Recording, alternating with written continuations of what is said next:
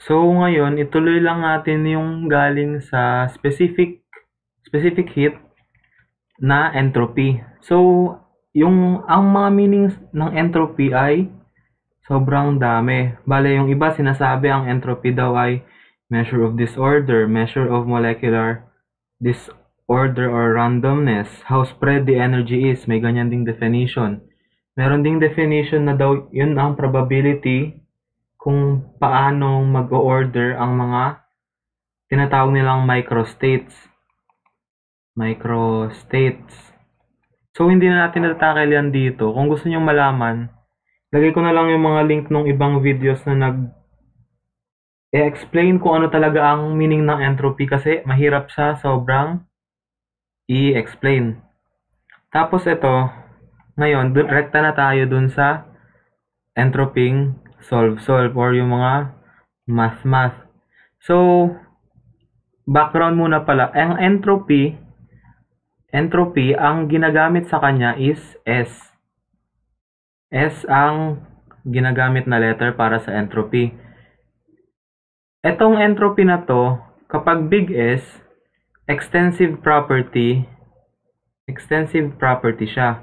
Ibig sabihin, nagbabago siya pag Halimbawa, binawasan mo or dinagdagan mo yung mass, nagbabago din yung entropy. Or ito yung tinatawag na total entropy. Tapos naman, yung small s, simula ngayon, yung small s na lang, lalagyan na lang natin ng buntot para halatang small, ay intensive property or syempre nagiging specific. Tapos, ito yung intensive siya. Ito yung tinatawag na entropy per unit mass. Kasi nga, nagiging specific. Tapos, ayun, ang Entropy is viewed as a measure of molecular disorder or molecular randomness. Madami talaga siyang ibig sabihin or madaming definition sa kanya.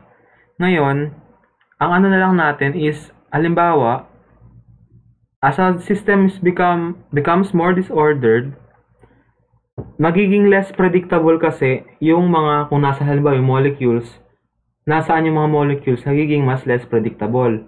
Ibig sabihin nun is tumataas yung entropy.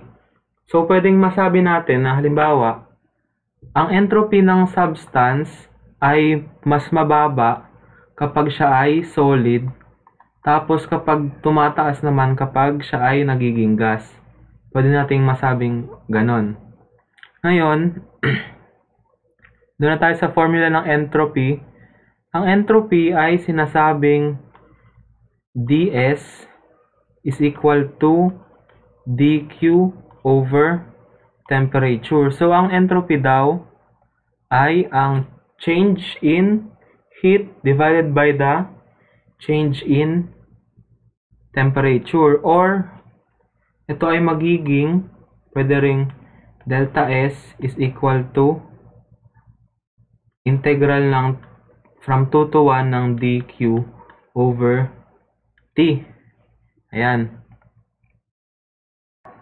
Ngayon, since, di ba, nung ano, nung sa specific heat, yung Q natin is equal to M cut. Ngayon, kapag ipasok natin to dito, pwede siyang maging delta S is equal to integral from 2 to 1 M C delta T over T. Ayan. Ngayon, since itong M sa C ay constant, pwede natin siyang ilabas. Magiging MC 1 to dt over t. Ngayon, ito, siyam alam natin, ang magiging integral niyan ay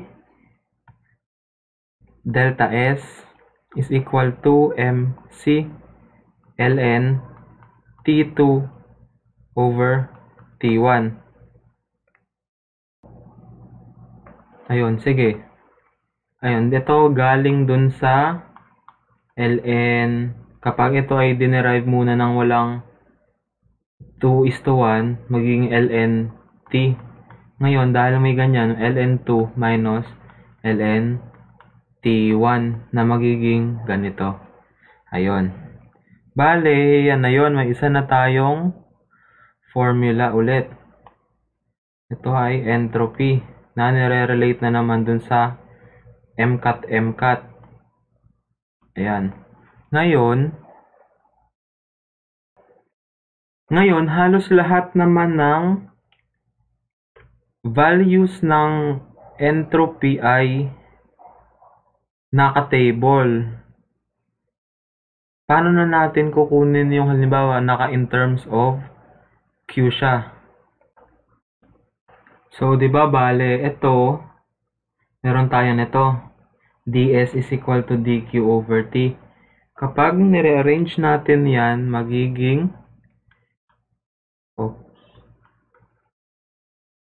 dq is equal to t ds.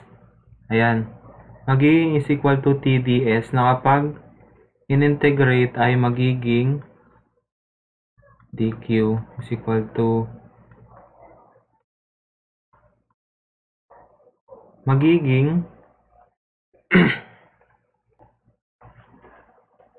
q is equal to integral of ayun, integral of t ds from 2 to 1 or sinasabi nito na yung area under the curve ayan yung area under the curve ng isang TS graph ay yung hit or yung Q.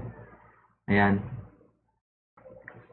Ngayon, may isang special case naman na halimbawa yung T or yung temperature is constant. Yun, masusub sa susunod ng mga topics, yun yung lalabas na isothermal process. So, halimbawang T is constant. Bale, ang magiging ano niyan is Q is equal, ilalabas natin yung T ds from 2 to 1. Bale, ito ay magiging Q is equal to T S2 minus S1 or Q is equal to T delta S Q tas.